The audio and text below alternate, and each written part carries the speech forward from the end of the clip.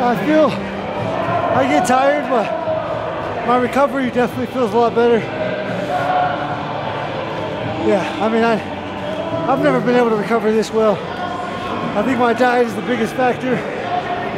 Uh, just the amount of time that I've committed to that is, is why I feel like I do today. My body has changed.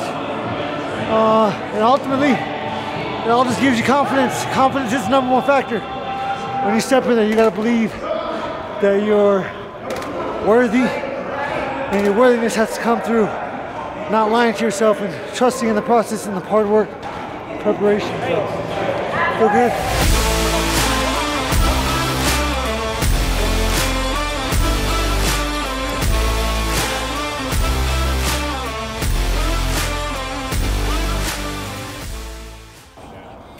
Hasta la vista, baby.